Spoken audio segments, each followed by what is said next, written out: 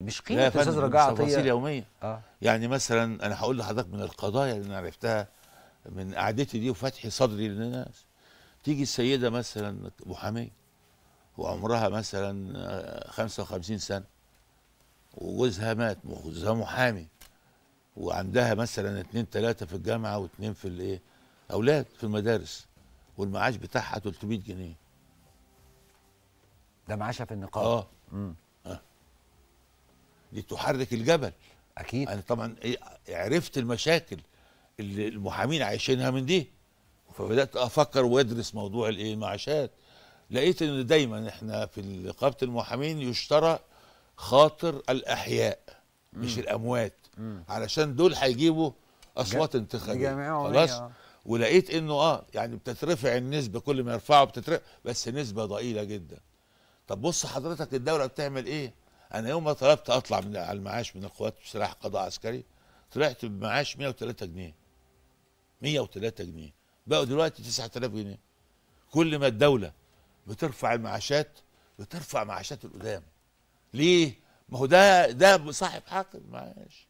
فأنا شايف مسألة قعدت درست كل هذا الملف. يعني في تصور عن تعديل فكرة آه، المعاشات قول لي بقى إيه هقول لحضرتك. ملامحه؟ أنا مش مش تصور. أنا بدأت في التنفيذ إزاي؟ والتحضير هو اولا نمرة أو واحد يجب أن تكون المعاشات عادلة عادلة محدش ياخد قد كده والتاني ياخد ملاليم نمرة اتنين آه، يجب أن إديني يرعى مثال يعني إيه ما حدش ياخد قد كده واحد ياخد هو ملايين دي- إديني مثال عليها أيوه اللي اللي واخد معاش امبارح هتلاقيه مثلا بياخد 2000 جنيه أو 1500 آه. أو وبتاع امبارح 300 جنيه آه. عيالها في في الجامعة إزاي؟ آه يعني آه. كله يتساوى. لا يعني بقدر الإمكان. لازم تمام. يحدث آه، عدل في الميزان المختل. نمرة اتنين أنت عشان ترفع المعاشات و- وهذه نيتي وهدفي إن شاء الله سأفعل. لابد إنك أنت تدبر الوسائل. لو ما دبرتش الوسائل يبقى أنت معرض. إذا رفعت من غير تدبير وسائل ممكن في الشهر الرابع الموارد يعني. آه الشهر الرابع آه تتوقف عن صرف المعاشات. لا مش بس الوارد الوارد والمنصرف. أنا عندي حاجتين يحكموا الميزانية المنصرف والوارد.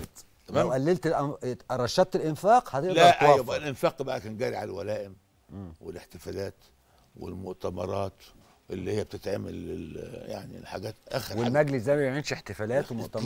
اطلاقا. لا يمكن. أسمح بهذا.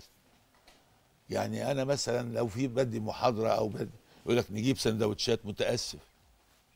متأسف. دي أموال محامين. خلاص. فأنا حطيت المبدأ ده والكل احترمه. خلاص. بقلل الإنفاقات و- وأنا ناجح في عن هذا. الموارد. و- يعني دخلت على الموارد سيادتك الموارد بتتلخص في الدمغة الأساس يعني والتصديق على العقود واتعاب المحاماة. أتعاب المحاماة بقالنا سنين. آه، إحنا لنا أتعاب عند وزارة العدل ولنا أتعاب عند مجلس الدولة. إيه، ها؟ آه، كانت بتشترى الخواطر بالسكوت.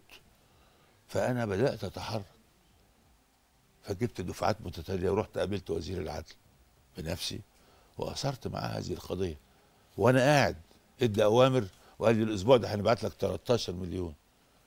بقى اللي جايبه دلوقتي من وزارة العدل 125 مليون. يعني النقابة خدت 25 مليون جنيه من ده من وزارة وزارة العدل. العدل. رحت كان ليه كان النقابة ليها كام تقريبا؟ لا وزارة لسه؟ لينا. لسه بس إحنا. إيه؟ بيدبروا ويبعتوا. أحييت المسألة. وعلى فكرة برضو تتهاجم. يقول لك وأنت جايبه ببيت أبوك البعيد. قال يا عم مش كده. دخلت على مجلس الدولة رحت قابلت الأستاذ المستشار الجليل رئيس مجلس الدولة. ولبى جبت من مجلس الدولة 45 مليون جنيه. 45 45 مليون جنيه. دول برضو استحقاقاتنا في. أتعاب. محاماة. بنفعل الدمغة وبنعمل يعني إجراءات عشان الإيه؟ الدمغة الإلكترونية دي ونظبطها وإلى آخره. علشان نزود هذه الايه؟ الايرادات العقود. تصديق على العقود بيجيب إيراد. الإيراد ده يعني صدقت على عقد. عليه مثلا 10 قروش. النقابة الفرعية تاخد 25% والنقابة العامة 75% باعتبار إن النقابة العامة بس- هي دايما بالإنفاق كله.